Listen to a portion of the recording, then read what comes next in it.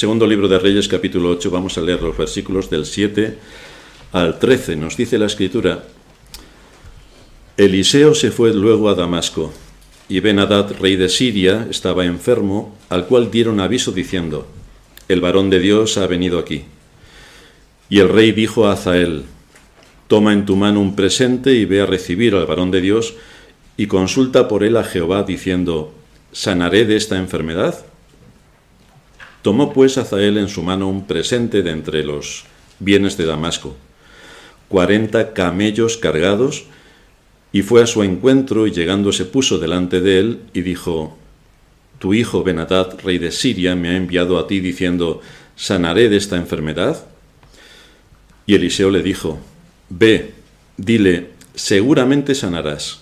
Sin embargo, Jehová me ha mostrado que él morirá ciertamente.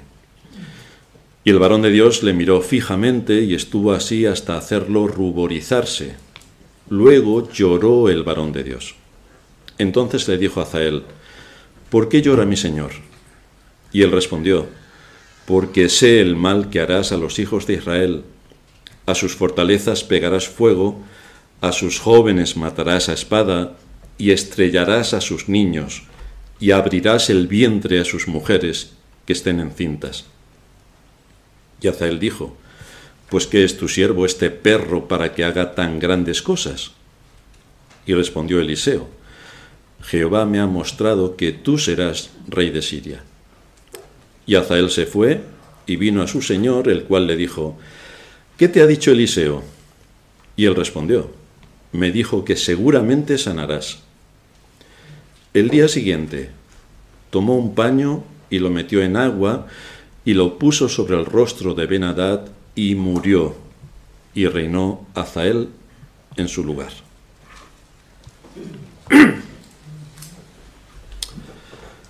Aunque Israel estaba convencido de que todos ellos eran hijos de Dios, por supuesto, ¿quién lo podría dudar? Este capítulo 8 nos informa sobre un nuevo juicio en forma de hambre que el Señor iba a traer sobre este pueblo idólatra y apóstata. Es un juicio que iba a durar siete años. Pero el hambre físico no iba a venir sola. Tenía una compañía a su lado. Y es que también iba a haber una gran sequía espiritual porque la única voz que se levantaba en Israel con poder para anunciar al Dios vivo y verdadero que era Eliseo, resulta que en nuestro texto nos dice que se va a Damasco.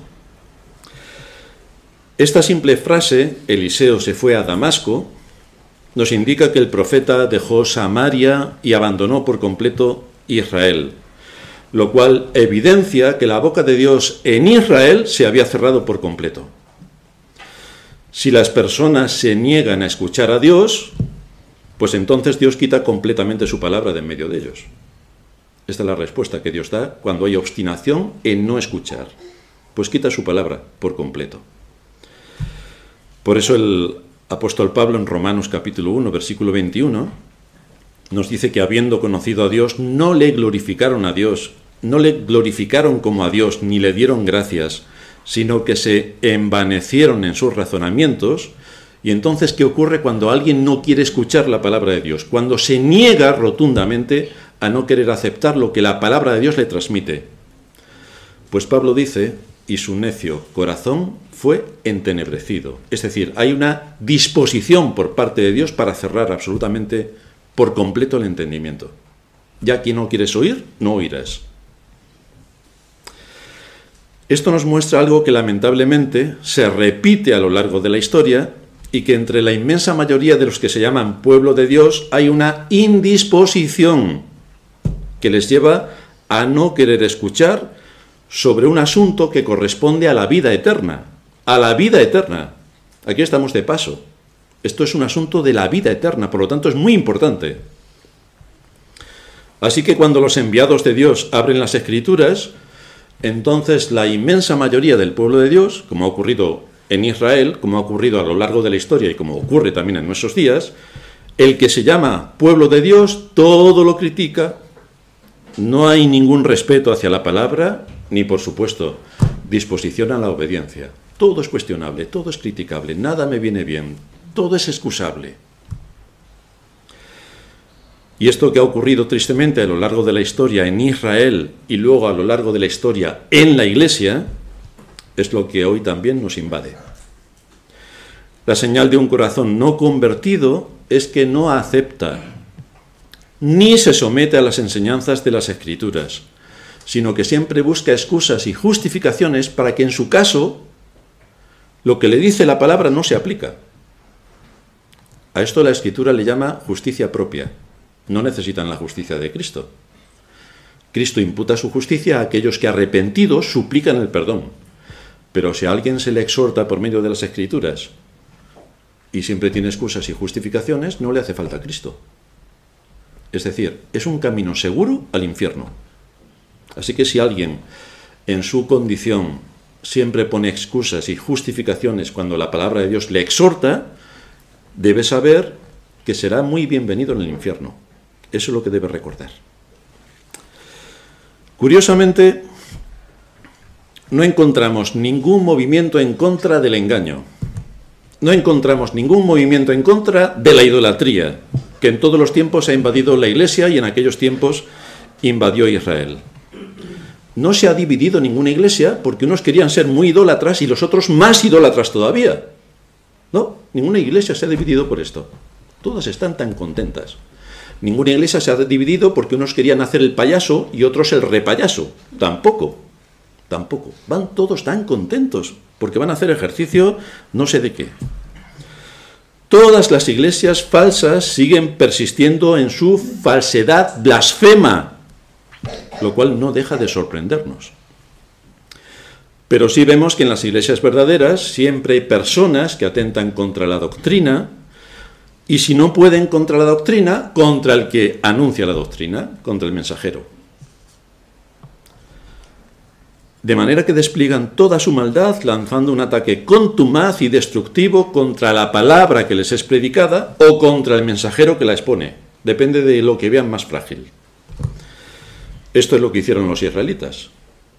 Es decir, no tenemos que irnos muy lejos para decir, esto estará pasando en nuestros días, pero bueno, esto es lo que estaba pasando en los israelitas, lo que ha pasado en la historia de la Iglesia a lo largo de los siglos y de lo que pasa hoy.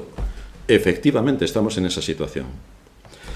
Como ya hemos dicho muchas veces, una de las mayores bendiciones de Dios es cuando en medio de su iglesia pone pastores según su corazón que las alimenten con ciencia y con inteligencia. Y uno de los mayores castigos es cuando estos pastores son quitados del rebaño. Pero tenemos pastores. Bueno, si tenéis pastores falsos, pues ya lleváis un buen camino por vivir en una época de apostasía, muchos en Israel tenían que responderle de esta manera al profeta Jeremías. Jeremías 14, 16. La palabra que nos has hablado en nombre de Jehová, no la oiremos de ti. Tiempos de apostasía. Hoy predicas el Evangelio a la iglesia, a la cristiandad en general.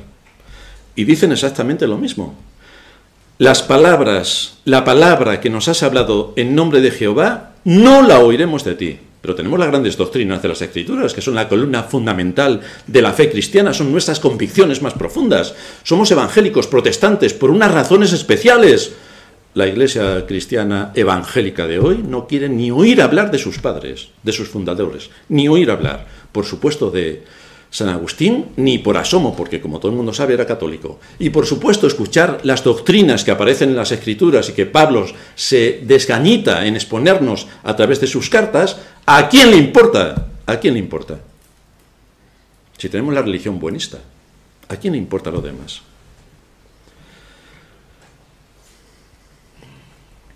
Para Israel había llegado su hora y Dios sacó a Eliseo de allí.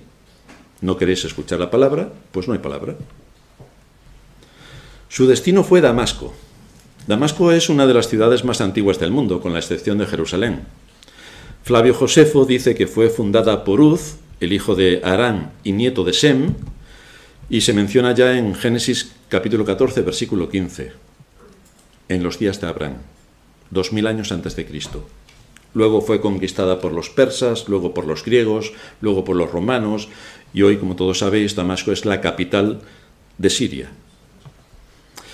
Dios hizo uso de Eliseo en Damasco, pero en este caso no estaba comisionado para sanar a un leproso, como sí hizo en los milagros en, Israel, ni para restaurar un niño muerto a la vida, ni para hacer que las aguas amargas se convirtieran en dulces, ni llevaba buenas nuevas, sino que iba a anunciar la muerte del rey sirio. Aquí encontramos el lado más exigente que tiene un ministro, porque se le exige que exponga ante los hombres su forma de vida. Por eso cuando se abren las escrituras podemos vernos reflejados en las escrituras. Quizá las escrituras hablan de mí, a lo mejor, a lo mejor. Si no hablan de ti, entonces no te están predicando las escrituras. Ahora, si cuando ah, se abren las escrituras hablan de ti, entonces puedes estar seguro que el mensaje está siendo usado por el Espíritu de Dios para tocar tu corazón. Se exige, por tanto, a los ministros que expongan ante los hombres su forma de vida, que se les hable de las buenas nuevas de salvación que Cristo ganó en la cruz para su pueblo, pero también tiene que poner de manifiesto la situación en la que cada ser humano está y qué va a hacer el día que se presente delante de su Creador. Esto lo tiene que tener en cuenta el que predica la palabra. Los dos aspectos, los dos destinos. El ministro de Cristo tiene que predicar la ley y tiene que predicar el Evangelio. No solamente el Evangelio, que todos vamos a ir al cielo, como todo el mundo sabe. No, eso no es lo que enseña la Escritura tiene que predicar la ley, los requisitos de la ley, y como soy incapaz de cumplir la ley, por lo tanto necesito a Cristo, quien cumplió la ley por mí, y entonces por la fe cojo a Cristo para el perdón de mis pecados y para la entrada en la vida eterna. Pero si no tengo a Cristo no tengo nada. En un mundo que está en tinieblas, el Evangelio, que son las buenas noticias, para que uno que está condenado sea rescatado, tienen que ser proclamadas. Y la Iglesia tiene este altísimo honor de predicar el Evangelio de Cristo y de anunciar a las gentes que vengan al conocimiento de la verdad. Pero claro, en el mundo en el que vivimos, ¿a quién le interesa la verdad? ¿A quién le interesa la verdad? A Israel no le interesaba, eran todos idólatras. ¿A la cristiandad de hoy le interesa algo la verdad? ¿Un poquito? Ni por asomo nos cuentan un cuento estratosférico en el mundo en el que vivimos y la cristiandad, la primera, se va detrás del cuentacuentos. Es como el flautista de Amelín que llevaba detrás las ratas. No voy a decir que sean ratas los que van detrás, pero desde luego el conocimiento es exactamente el mismo. Llega cualquier cuentacuentos y se van todos detrás corriendo. Es nuestra gran responsabilidad como iglesia anunciar todo el consejo de Dios, porque de esta manera, dice el Señor, el que creyere y fuere bautizado será salvo, mas el que no creyere será condenado. El que creyere, el que creyere. Por eso anunciamos el Evangelio. Para mostrar realmente quién es el Dios creador, quién es el Dios legislador y quién es el Dios redentor. Quién es el Padre, quién es el Hijo y quién es el Espíritu Santo en sus distintas funciones para llevar a cabo el rescate de la situación en la que el ser humano está a nivel espiritual. Y aquí no hay término medio. O bien se escucha y se acepta el mensaje que proclama la salvación y hay un sometimiento, una disposición a obedecer a la verdad, o bien se desprecia la enseñanza y se anula por completo el impacto que esa palabra tiene en la conciencia.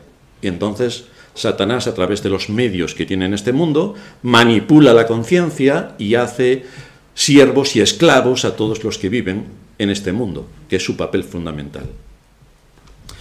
Como esta era la situación de Israel, donde sus oídos estaban cerrados a la amonestación, por supuesto no querían saber nada de la palabra de Dios, había un desprecio adicional hacia el profeta, la secuencia que nos encontramos es que Eliseo se fue luego a Damasco, dice el versículo 7, y Benadad, rey de Siria, estaba enfermo, al cual dieron aviso diciendo, fijaos, el varón de Dios está aquí. Este es el anuncio que recibió Benadad. No sabemos la causa de la enfermedad del rey, pero es evidente que pasaba por una situación bastante crítica. Y esto también nos da a nosotros unos, unas pinceladas para que pensemos en lo que supone la enfermedad, a la cual todos nosotros estamos sujetos, y que es una consecuencia, una de las consecuencias de la caída. Todos estamos sujetos a la enfermedad. Cuando la enfermedad le llega a un hijo de Dios, su primera preocupación no es decir, queridos hermanos, orar todos en la iglesia para que me sane. A lo mejor no tiene que pedir esto. a lo mejor no tiene que pedir esto, sino que debería buscar en la palabra de Dios el propósito de su aflicción. Job capítulo 10, 10 versículo 2 nos dice, hazme entender por qué contiendes conmigo. ¿Por qué? ¿Cuál es el propósito de esta enfermedad? ¿A causa de qué ha venido? ¿Ha venido a causa de un juicio o es una prueba que trae la providencia para fortalecer mi fe? La siguiente preocupación del creyente debe ser tener una actitud correcta en medio de la aflicción, para que pueda aprender y decir como el salmista, el Salmo 119, versículo 71, bueno me es haber sido afligido para que aprenda tus estatutos. Queridos hermanos, ¿os imagináis si alguien cada vez que pide lo que su corazón eh, se imagina, el Señor se lo concediera? ¿O imagináis a alguno de vuestros hijos que todo lo que os pida se lo dais? Si es muy pequeñito todavía no se dará cuenta, pero como el niño siga creciendo, que es lo normal, cuando tenga cierta edad, tú vas a ser el siervo de tu hijo. No vas a ser su padre, vas a ser su siervo. Y esto es lo que ocurriría si el Señor nos diera todos los deseos de nuestro corazón, que lo tendríamos, como hemos dicho muchas veces, como el ¿Cómo se llama este hombre que ya se me ha olvidado? El mago de Aladino, o sea, el genio de Aladino, perdón. Es que con tantos cuentos ya no sé por dónde empezar. El genio de Aladino. Así que muchos se acercan a Dios como si fuera el genio de Aladino. Te concedo tres deseos. Bueno, pero es que el creyente en general tiene 300. Así que no veas tú hasta que termine. Por eso en sus oraciones parece que saca la lista de la compra y en vez de glorificar a Dios y darle gracias, se pone a demandar todo lo que le hace falta. Un coche nuevo, una casa nueva, un trabajo nuevo, una mujer nueva, y así va siguiendo. El marido también entra en la categoría. Estamos en la escuela de la vida y por tanto todo lo que nos ocurre tiene un propósito específico que Dios en su soberanía nos ha enviado, aunque nosotros no entendamos absolutamente nada de lo que está pasando. Pero si nosotros hacemos lo que tenemos que hacer y las cosas vienen de forma completamente opuesta, entonces es un asunto de la providencia divina en la cual debemos descansar. En el caso que tenemos ante nosotros, Benadab no era un creyente, no era un hijo de Dios que había caído enfermo, sino que era un rey impío el que había caído enfermo. Dice el versículo 8 que el rey dijo a Azael, Toma en tu mano un presente y ve a recibir al varón de Dios y consulta por él a Jehová diciendo, ¿sanaré de esta enfermedad? Así que aquí nos encontramos con una situación bastante sorprendente. Si nos vamos al capítulo 6, versículo 31 de este segundo libro de Reyes, está hablando el rey de Israel, creyente como todo el mundo sabe, y dice sobre Eliseo, así me haga Dios y aún me añada, si la cabeza de Eliseo, hijo de Safat, queda hoy sobre él. Es decir, tenía la intención de cortarle la cabeza.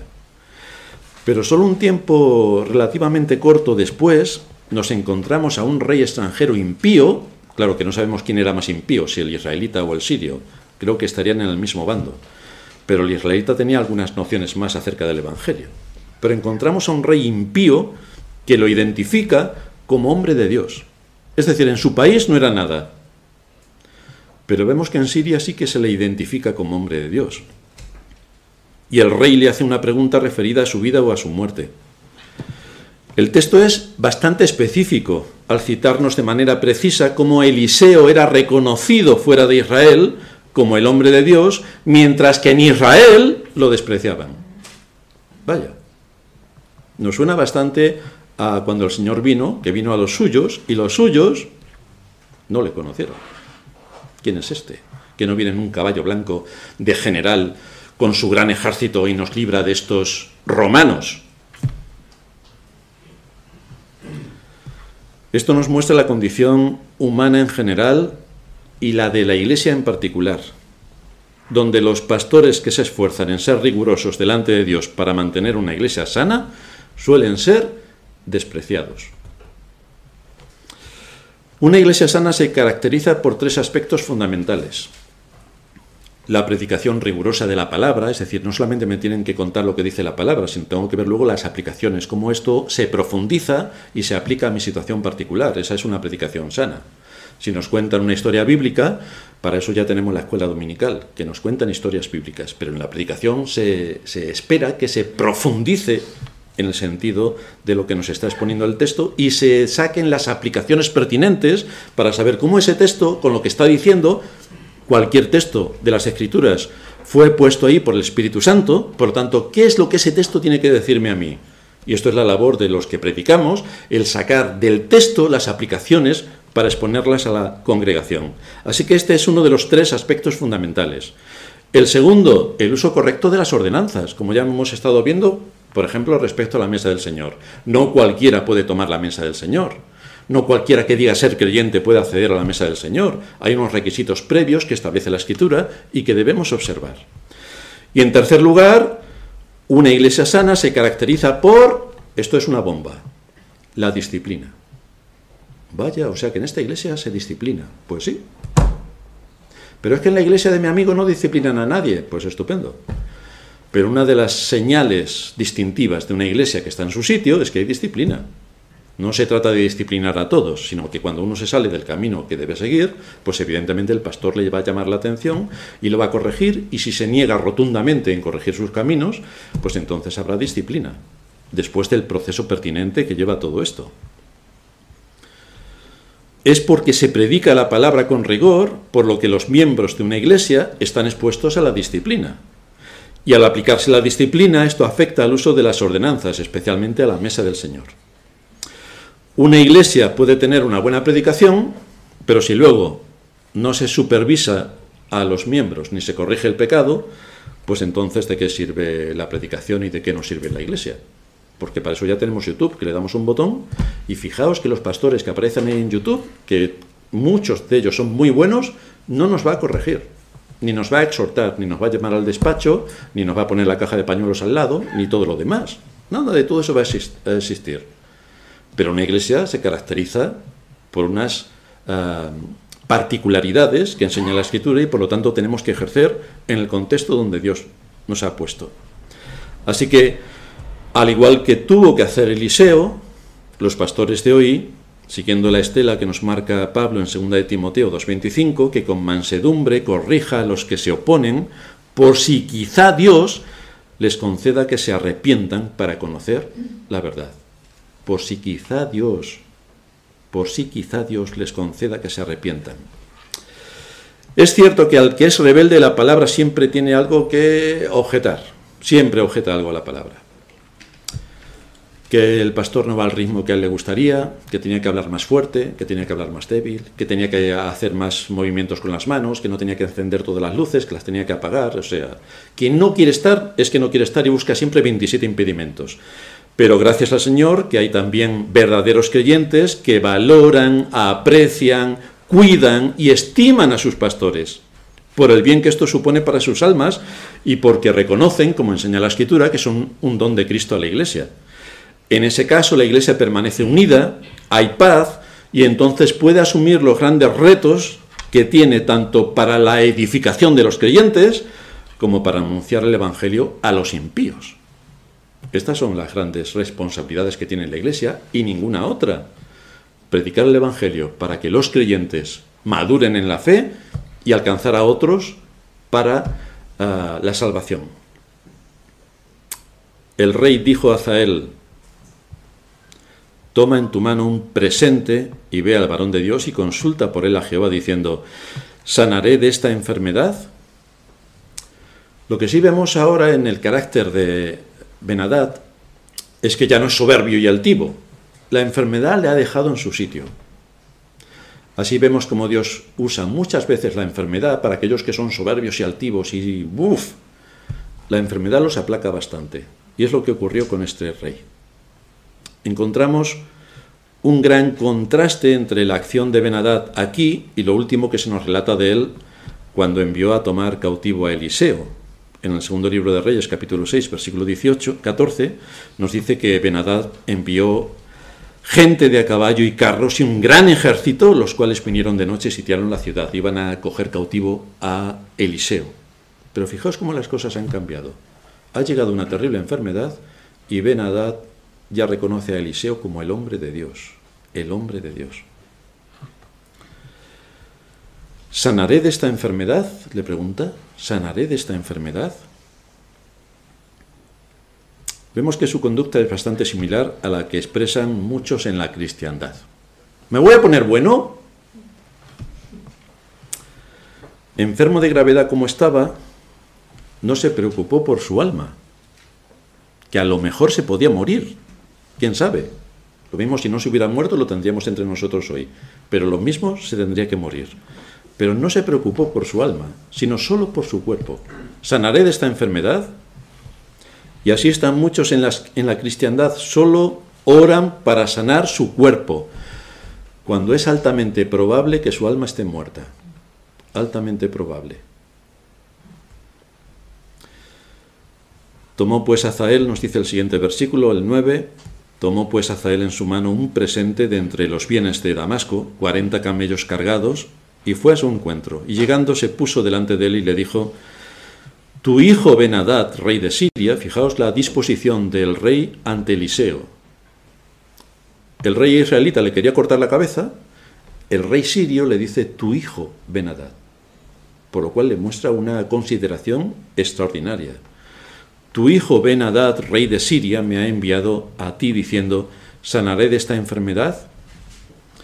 Este regalo de los 40 camellos cargados que le envía el rey tenía el propósito y la intención de provocar un ambiente amistoso, porque antes había perseguido a Eliseo para matarlo también y apresarlo, pero quería cambiar completamente la situación.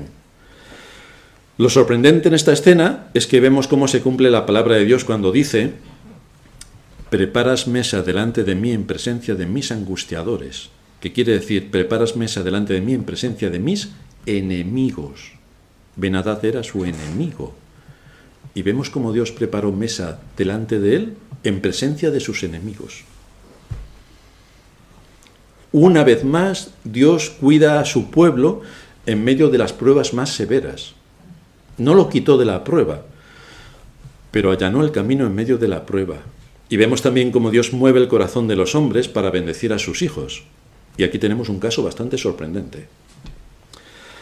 Ahora se nos relata la palabra de Dios dada al profeta, que es una profecía amarga.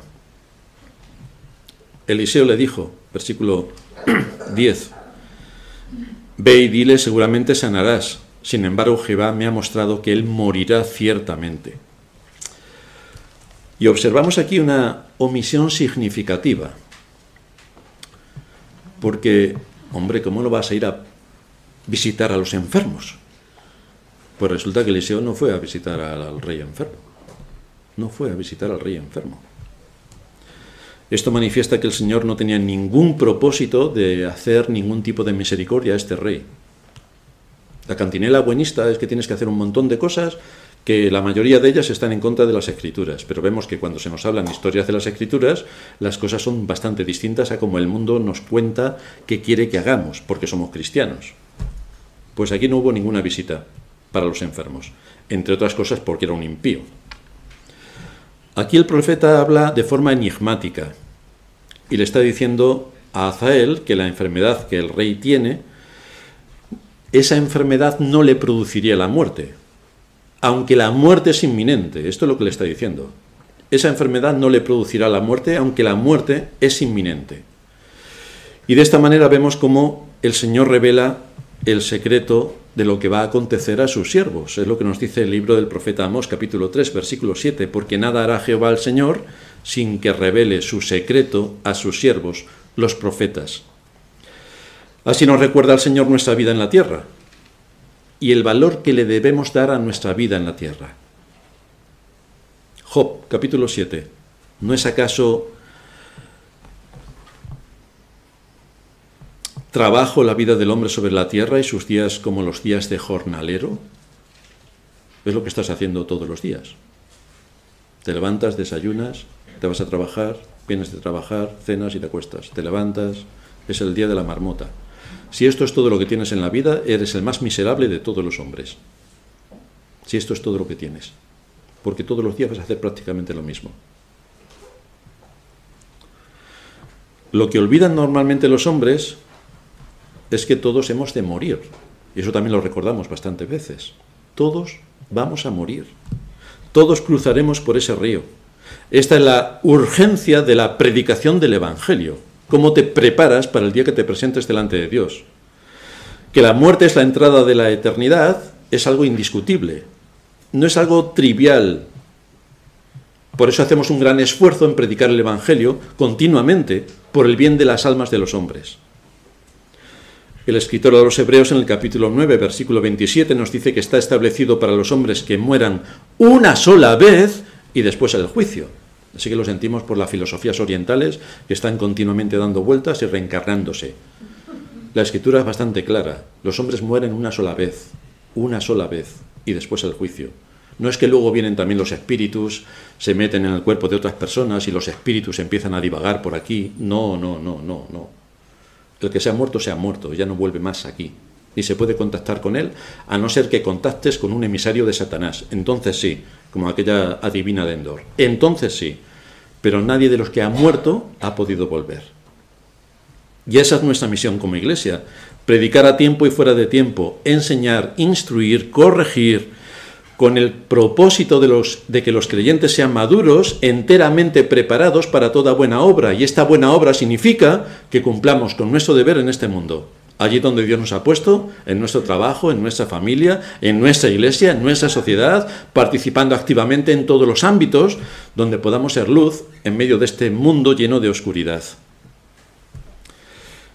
Y ahora llega una secuencia bastante enigmática. El varón de Dios, nos dice el versículo 11, le miró fijamente a Azael, el siervo enviado por el rey Benadad, y estuvo así hasta hacerlo ruborizarse. Luego lloró el varón de Dios. Luego lloró.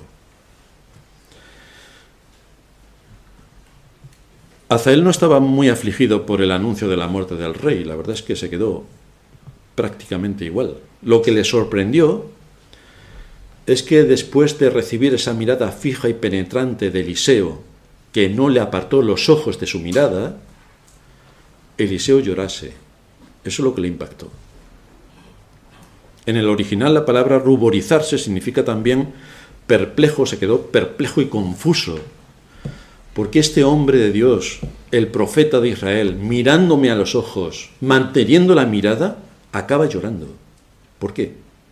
¿Qué es lo que está pasando por su mente? Desde luego las lágrimas de Eliseo no fueron ocasionadas por su conocimiento de la muerte que le esperaba al rey sirio, sino por lo que el Señor le había mostrado acerca de los terribles juicios que vendrían en breve sobre Israel por mano de Azael y que serían una continuación a los siete años de hambre. Es decir, lo que aquí está eh, perfilando Eliseo es que no solamente vendrían siete años de hambre, sino una terrible carnicería. Esto es lo que está perfilando. Y por esto está llorando.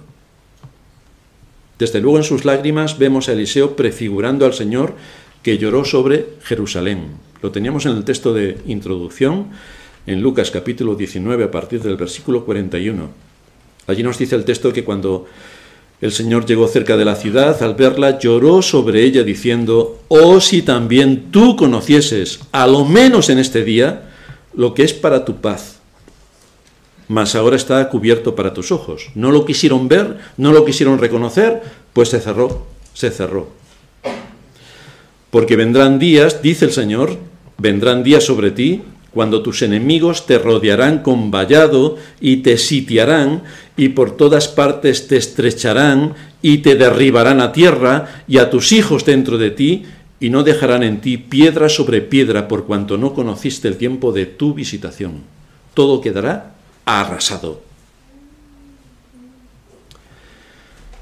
La historia en Israel se repite, se repite, se repite. Una y otra vez sin que tomasen ninguna nota de la situación en la que se encontraban. Ningún juicio les afectó, ninguno. No hubo ningún cambio en la disposición de su corazón para arrepentirse, ninguno. Tuvieron a los profetas que les predicaron desde temprano y sin cesar. No valió de nada, no valió de nada. Cuando se narra esta escena, del Señor llorando sobre Jerusalén, es evidente que estaba en una posición desde la cual pudo ver clarísimamente la ciudad. Pudo ver su majestuoso templo que ya estaba reformado y que aquello era una excelencia. Jerusalén, el gozo de toda la tierra, el gozo de toda la tierra. Pero el Señor sabe que esta ciudad pronto sería una ruina espantosa y humeante. Miles y miles de sus habitantes estaban condenados a encontrar la muerte de una manera horrible a manos del ejército romano, porque no quisieron reconocer a Cristo como su Señor. Esto trajo un juicio bastante considerable. Es por esto que el Señor estalla en lágrimas y se lamenta, oh si en este día tú, aún tú, conocieras las cosas que pertenecen a tu paz. Y no querían la paz. Rebelión continua contra Dios atentado contra sus mandamientos, desobediencia, ingratitud, falta de atención a su palabra. Cristo mismo estuvo entre ellos, aquel a quien esperaban con tanto énfasis y que les había sido anunciado por los profetas, pero no quisieron reconocerle. No, les predicó la palabra. El maestro de los maestros les predicó la palabra, el pastor de los pastores les predicó la palabra y cerraron sus oídos no aceptaron su palabra y despreciaron al ungido de Dios. Pero hoy la cristiandad está igual. Está exactamente igual. Se le predica la palabra y lo único que te dicen es, tú te crees muy listillo, que te sabes la Biblia de memoria. Vaya, pues no estamos hablando de que yo soy listillo, estamos hablando de que te vas al infierno. ¿A quién le importa? ¿A quién le importa? Si tenemos la religión buenista.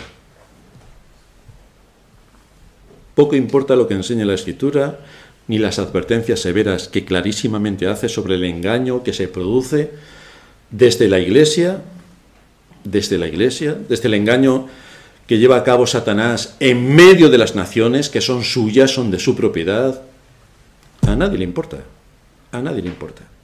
El buenismo invade la cristiandad y es incapaz de identificar el engaño al que Satanás les está sometiendo. Queridos hermanos, alguien en el pueblo de Israel, teniendo los cinco primeros libros de la Biblia, teniendo los diez mandamientos, ¿a alguien se le ocurriría ponerse de rodillas delante de un Baal? Pues todos. Pero si tienen los diez mandamientos, el segundo lo prohíbe tajantemente. ¿A quién le importan los mandamientos?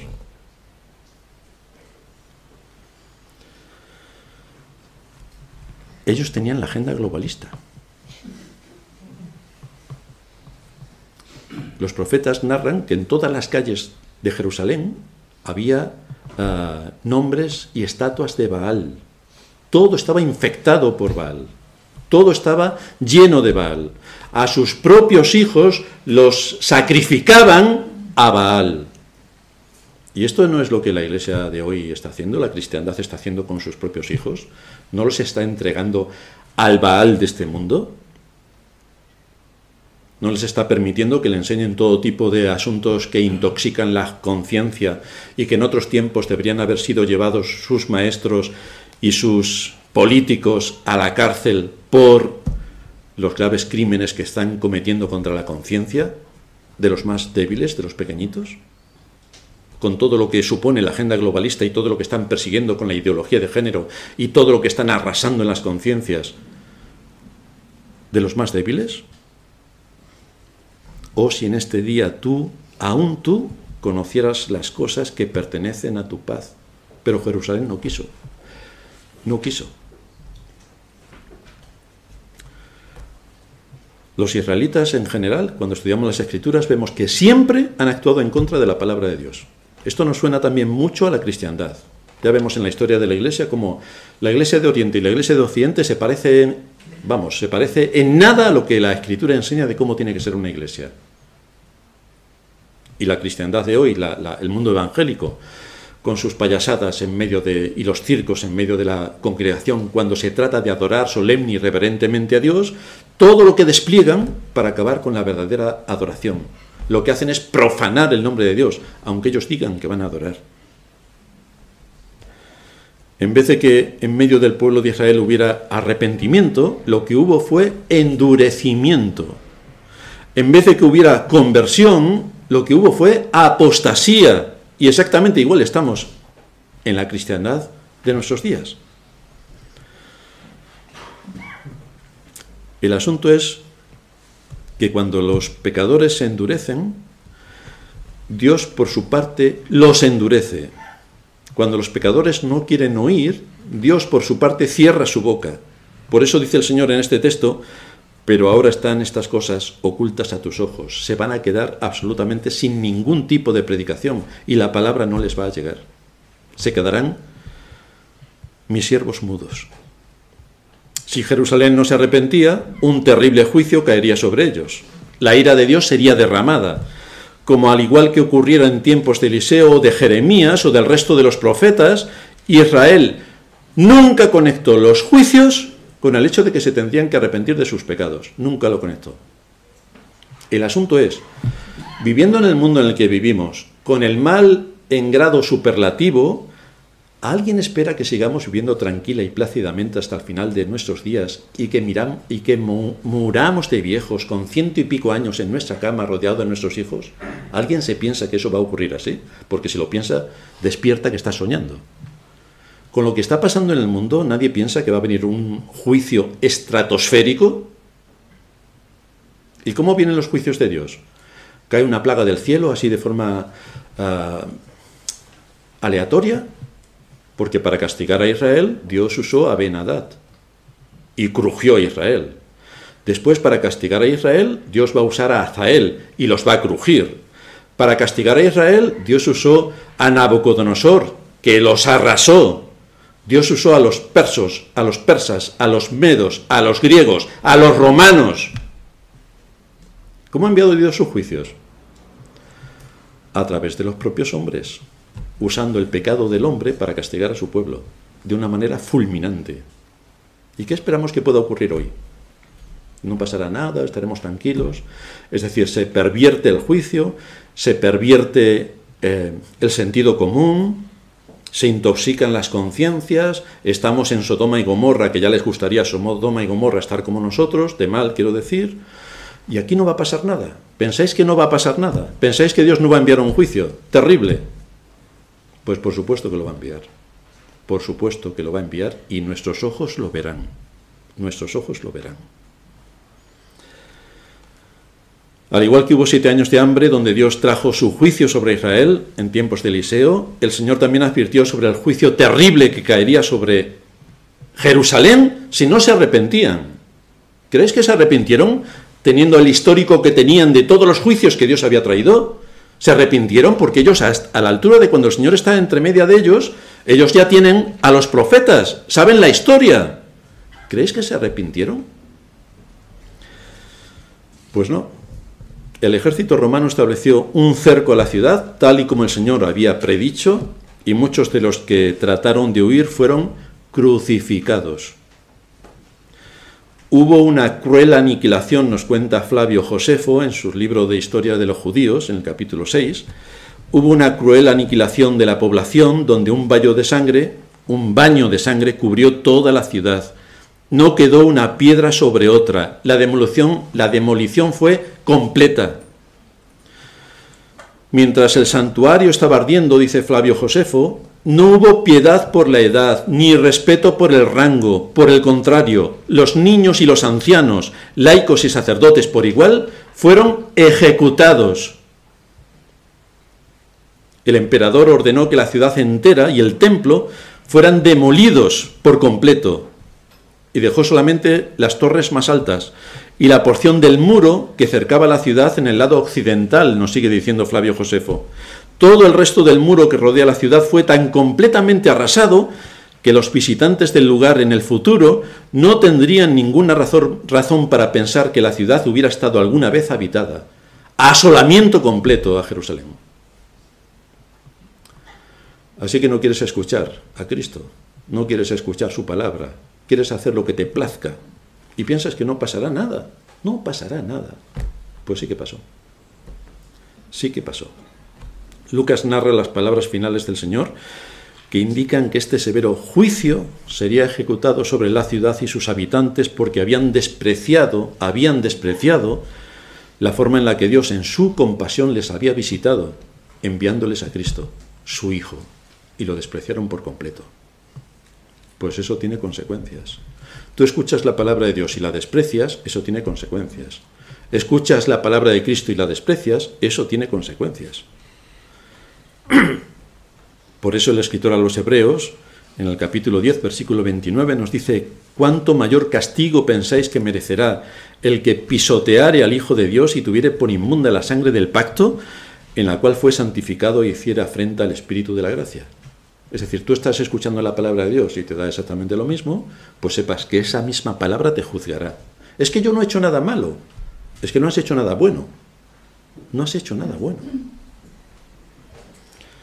La gente piensa que no pasa nada por despreciar a Cristo, pero es un pecado extraordinariamente grave, extraordinariamente grave.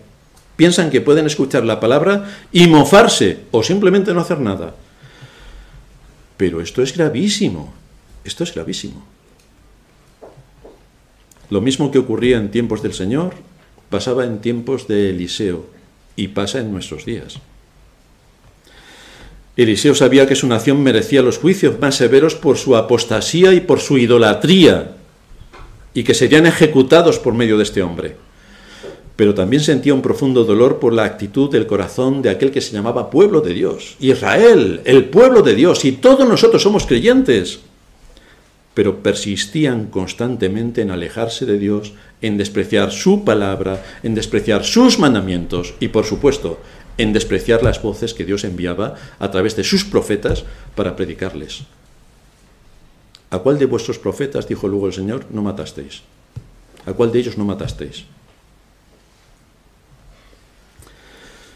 Esta fue una vez más el juicio que Dios trajo sobre el pueblo de Israel para llevarles al arrepentimiento aunque el arrepentimiento no llegó, no llegó. Porque siguieron sin, conectar, como hace la cristiandad en nuestros días, siguieron sin conectar el juicio de Dios con sus hechos. Así que si no conectas, ¿de qué te vas a arrepentir? Si todo en la vida te va bien, como todo el mundo sabe. Y esto es lo que produjo el llanto de Eliseo. Entonces le dijo Eliseo a Zael, versículo 12, ¿por qué llora mi Señor? Perdón. Entonces le dijo Azael a Eliseo, ¿por qué llora mi señor? Y él respondió, porque sé el mal que harás a los hijos de Israel, a sus fortalezas pegarás fuego, a sus jóvenes matarás a espada, y estrellarás a sus niños, y abrirás el vientre a sus mujeres que estén encinta. Esto es lo que hará Azael. Destrucción absoluta. Es digno de mención el observar que mientras Eliseo anunció lo que pasaría, no hizo ningún esfuerzo por disuadir a Azael para que no lo hiciera. No hizo ningún esfuerzo.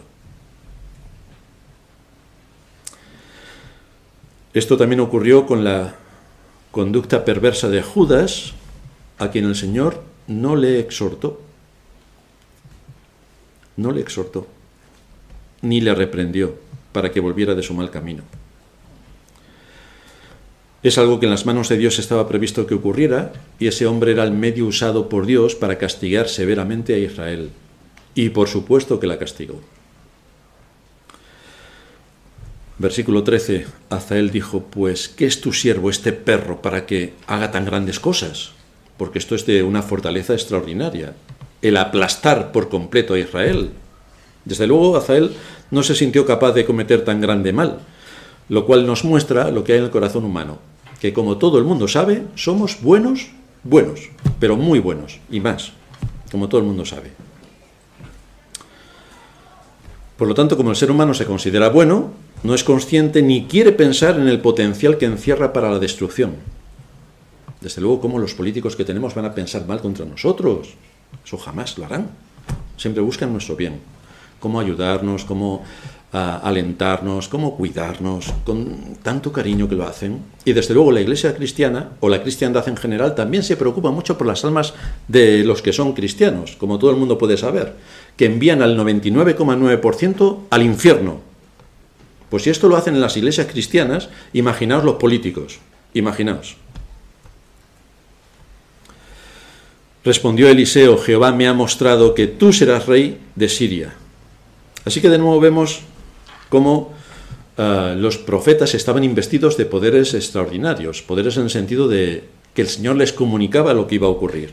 ¿Y de qué manera fueron usados por Dios?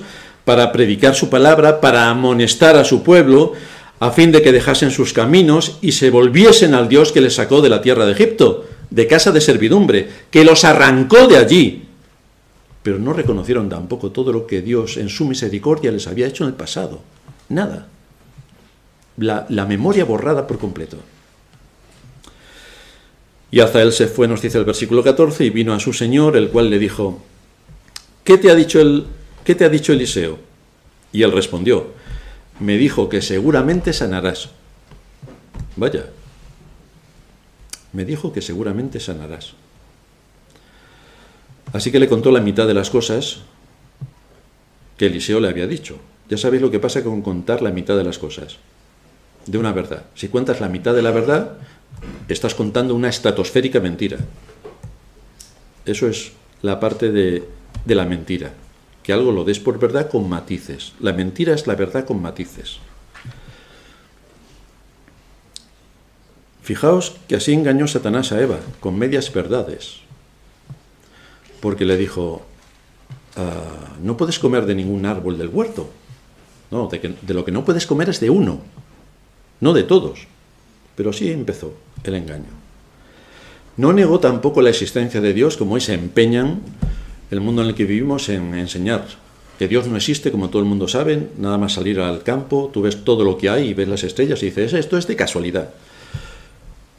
En el caso de Adán y Eva, Satanás no negó a Dios, sino que lo que Dios decía no era exactamente como él lo decía, había matices, por lo cual también le inyectó el engaño. Cuando Satanás tentó al Señor, fijaos que lo hizo utilizando las escrituras, pero pervertidas, porque tú a las escrituras le puedes hacer decir lo que tú quieras que diga, tanto en un sentido como en otro. Por eso necesitamos pastores fieles que nos prediquen con rigor las escrituras y que no nos cuenten un cuento. Cuán atentos debemos estar para no dejarnos engañar por el mundo que nos rodea, cuyo propósito único es alejarnos de la palabra de Dios y tomar como válidos sus razonamientos. Porque si tú escuchas al mundo, te convence. Si no contraargumentas, te convence. Porque tiene un despliegue de poder encantador y seductor extraordinario. Si no podemos servir a dos señores, resulta que en el mundo tenemos a un señor poderoso y perverso, que siempre está imponiendo su criterio en contra del verdadero Señor. Lo impuso en la caída de Adán y Eva. Lo impuso a lo largo de toda la historia de Israel. Lo ha impuesto a lo largo de toda la historia de la Iglesia. Y hoy también lo impone hoy también lo impone. El, papel de la Iglesia fundamentalmente es traer luz, la luz que este mundo necesita, porque este mundo promete mucho, te promete mucho, te promete todo, pero no cumple nada.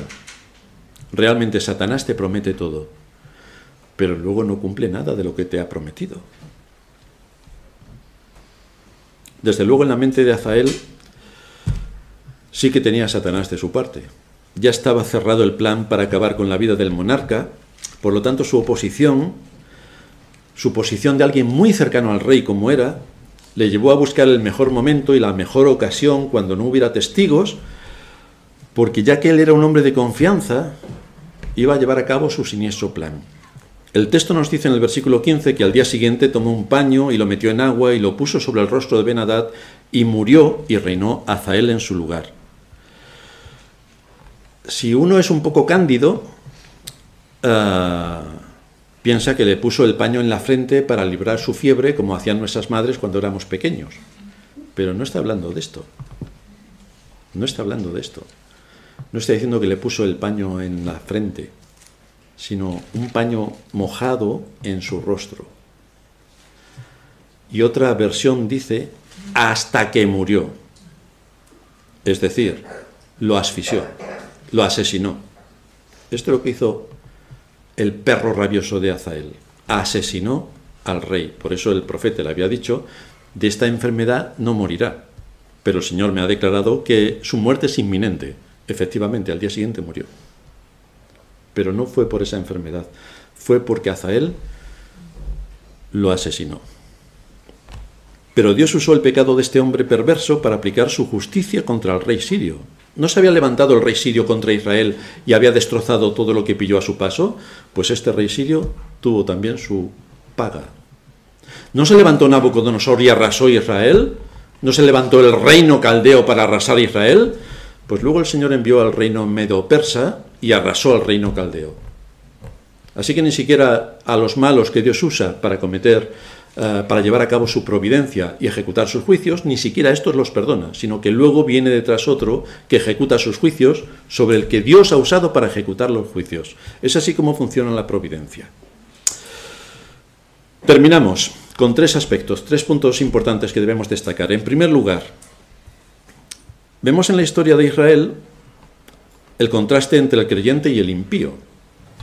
El matiz curioso aquí es que Israel se consideraba creyente siendo impío. Este es el matiz considerable.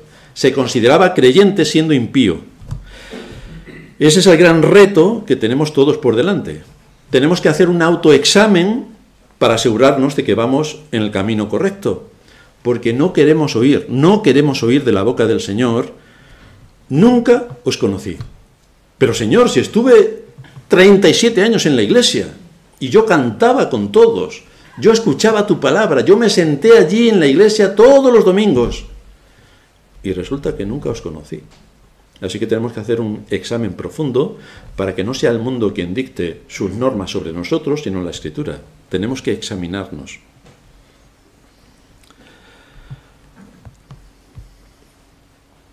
En segundo lugar, vemos que cuando Eliseo lloró al conocer lo que ocurriría con Israel, o cuando Cristo lloró al saber, al decretar lo que le iba a pasar a Jerusalén, estaban demostrando todo lo que supuso la caída y cómo para aquellos que quieren escuchar el Evangelio les está preparada la salvación eterna, pero los que no quieren escuchar el Evangelio o lo rechazan, les está preparada la condenación eterna. Dice Jonathan Edwards en su sermón titulado La insensatez en la indeterminación de la religión, es decir, mm, estoy aquí pero no sé dónde estoy y me da igual. Dice Jonathan Edwards, las cosas de la vida espiritual deberían ser de suma importancia para cada ser humano. Si Dios existe o no, eso es importante, es trascendente. Si las escrituras son la palabra de Dios o no, esto para la cristiandad deberían darle una vuelta. Si Cristo es el Hijo de Dios o no, si existe la conversión o no, porque esto marca una diferencia infinita en nuestra vida. Por tanto, estamos bajo la más grande obligación de resolver en nuestras mentes si estas cosas son verdad o no. El que permanece sin definirse y no investiga sobre estas cosas, actúa muy neciamente. En vez de buscar e investigar acerca de los argumentos a favor y en contra, la gente ocupa su mente con cosas infinitamente menos importantes y actúan como si no les importara si existe la eternidad o no. Ningún hombre, sigue diciendo Jonathan Edwards, ningún hombre sabio se quedará insatisfecho ante esta cuestión, porque si la eternidad existe, como las escrituras afirman, entonces cada uno de nosotros tiene su parte allí, o bien en el lugar de la recompensa eterna, o en el lugar del castigo eterno. En ambos casos es el destino que le espera a cada ser humano. Así que no podemos quedarnos indiferentes en estos asuntos de tal trascendencia. Se trata de estados opuestos, no solo por algunos días en este mundo, estamos hablando de la eternidad. Es una locura infinita no definirse y no saber dónde estamos. Es una locura infinita.